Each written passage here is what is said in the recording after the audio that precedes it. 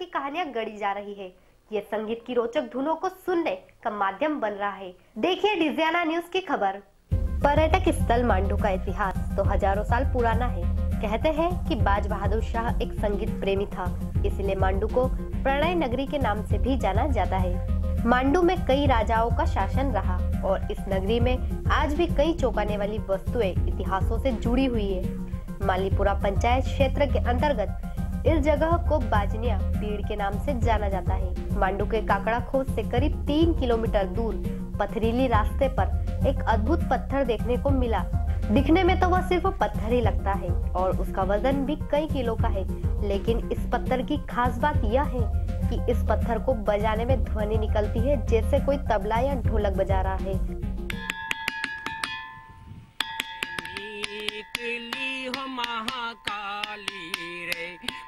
पावा जो गढ़ से निकली हो महाकाली रे। जानकारों का कहना है कि यह पत्थर कई सालों से यहीं रखा हुआ है और इसे बाजा जैसे बजाने वाले पत्थर के कारण खाई के नीचे बने गाँव का नाम भी बाजना रखा गया है। लोगों का कहना है कि इस पत्थर का उपयोग राजा महाराजा या तो सूचना तंत्र का उपयोग करते थे या फिर यहाँ के राजा बाज बहादुर शाह, जो एक संगीत प्रेमी भी था।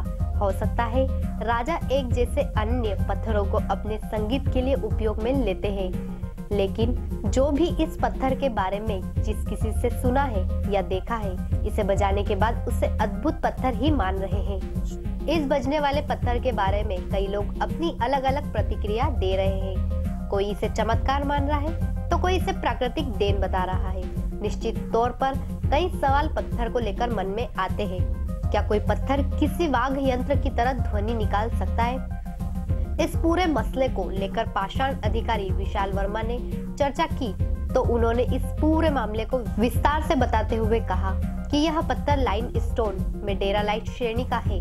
जब ज्वालामुखी से यह पत्थर बना तो उसमें यह खासियत रही कि उसमें तरंग पैदा होने लगी। ऐसा गुण बहुत ही कम पत्थरों में पाया जाता है। निश्चित ही यह पत्थर उसमें से कोई एक है।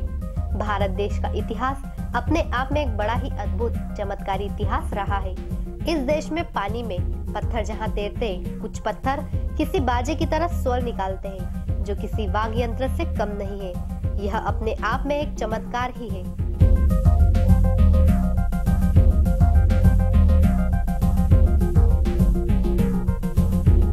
जो पत्थर है, अपने आप में एक ऐतिहासिक और पुरातत्व धरोहर के रूप में इसको देखा जा सकता है।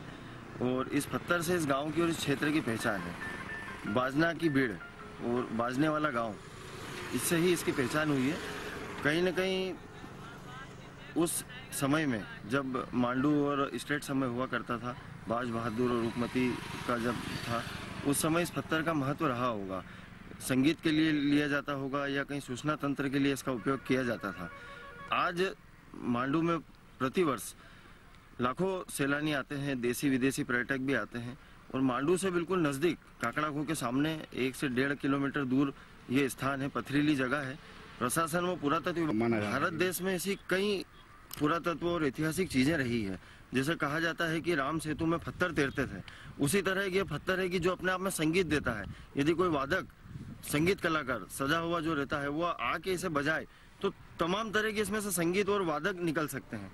और यही इसके अपने ये पत्थर जो है, ये अपने आप में एक मिसाल के स्वरूप है ये।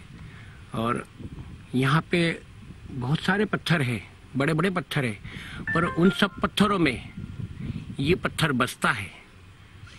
मैं इस गाँव में दो तीन बार कथा करने आया हूँ तो मैं जब भी इधर से निकला हूँ तो इसको मैंने बजा के देखा, क्योंकि मैं संगीतज्ञ हूँ, मैं हारमोनियम, तबला, ढोलक मैं बजाता हूँ। तो मुझे ये बजाने में बहुत अच्छा लगा। जहाँ तक मेरी नज़रों में तो ये बहुत कीमती पत्थर है क्योंकि जो पत्थर अपने आप में संगीत निकाल रहा है और वैसे भी मांडव बाज बहादुर की नगरी है रानी रूपमती की नगरी है।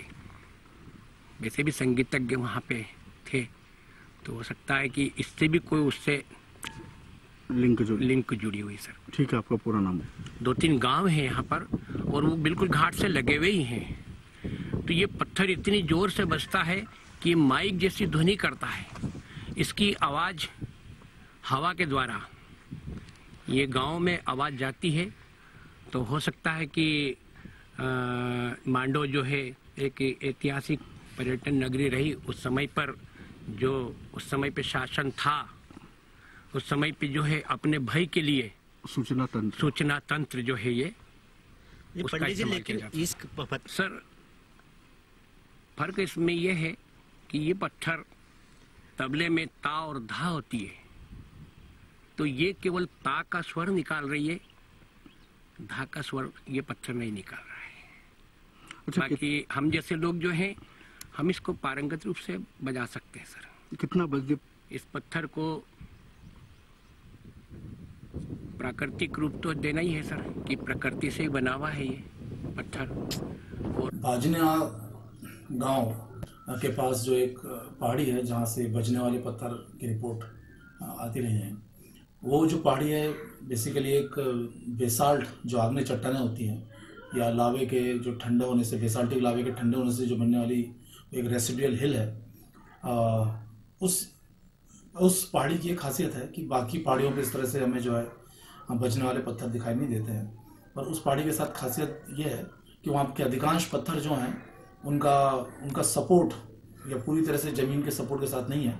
आ, उनके प्रोजेक्टेड हिस्से काफ़ी हैं जिसे हम कैंटिलीवर टाइप का स्ट्रक्चर बोलते हैं। तो एक जगह से वो जकड़ क्लैम्ड होता है एक जगह सपोर्ट होता है और दूसरी जगह से उसके सिरे जो है फ्री होते हैं।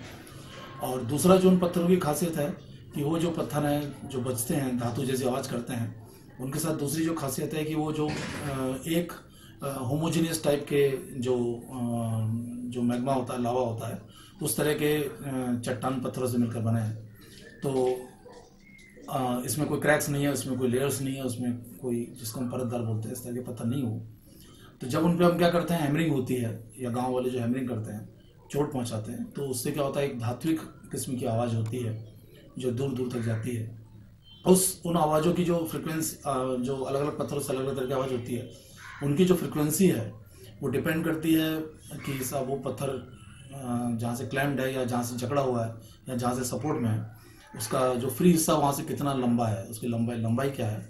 दूसरा जो है, उसका कंपोजिशन क्या है उस चट्टान का? तीसरा उसका थिकनेस भी उसके जो है उसके पिच को डिसाइड करता है। तो इस तरह से वहाँ पर कई पत्थर इस तरह की आवाज़ करते हैं। दक्षिण भारत में भी कुछ मंदिरों में इस तरह के खंबे बनाए गए हैं पिलर्स जो अलग अलग ब्यूरो रिपोर्ट डिजियाना न्यूज़